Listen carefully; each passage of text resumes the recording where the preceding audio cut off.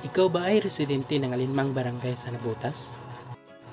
Ang DSWD NCR, National Household Targeting Section, Area Supervisors ay nasa 18 barangay ng Nabutas ngayon upang tumanggap ng hinaing o grievances patungkol sa inisyal na talaan ng pamilyang nangangailangan na nakapaskil sa bawat barangay.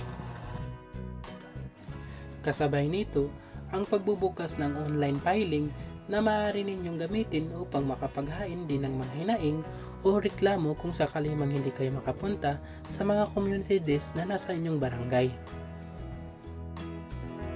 Sa pagpapatuloy ng pagbubukas ng mga community desk sa iba't ibang bahagi ng National Capital Region upang tumanggap ng mga hinaing patungkol sa ipinaskil na initial list o poor household kaugnay sa implementasyon ng third round National Household Assessment o Listahan 3 Project. Nais naming ipaalam na bukas ngayong araw ang community desk sa lahat ng mga barangays. Mayroong apat na hinaing na maaring ipile ng grievance via online. Ito ay ang mga sumusunod. Una, maaari ninyong i-inquire kung ang inyong sambahayan ay nasa initial na listahan ng pamilyang nangangailangan. Pangalawa, kung ang iyong sambahayan ay na-interview ng DSWD, listahan enumerator, ngunit hindi ka napabilang sa initial na listahan ng pamilyang nangailangan na nakapaskil sa inyong barangay.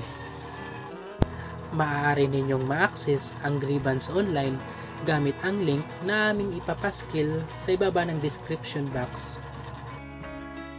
Pang-apat at panghuli, kung ang inyong sambahayan ay nag-transfer o lumipat ng tirahan.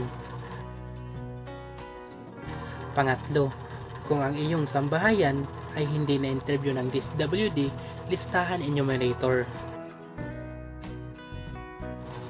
Ang third round National Household Assessment ay sinasagawa upang bigyang mukha at matukoy ang kinaroroonan ng mga kababayan nating mahihirap upang sa gayon magkaroon ng komprehensitibong datos na maaaring gamitin sa mga social protection stakeholders sa kanilang programa at serbisyo.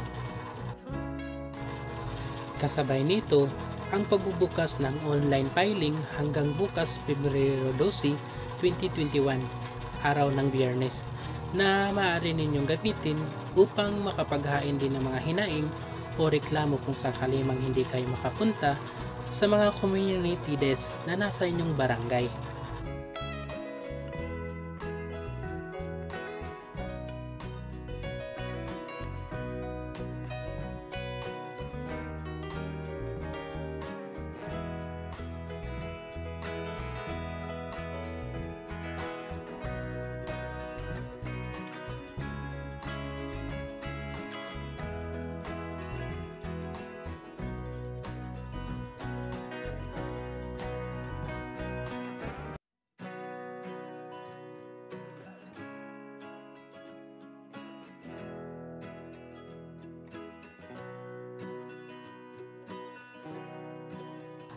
Paalala lamang po, ang channel na ito ay walang anumang kaugnayan sa anumang ahensya ng gobyerno.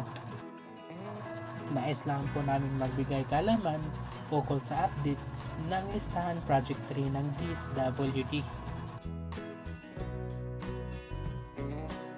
At kung bago pa lang kayo sa channel na ito at nagustuhan ninyo ang video na ito, ay maaari po kayong mag-subscribe at pindutin ang notification bell para lagi kayong updated sa mga panibago kong video.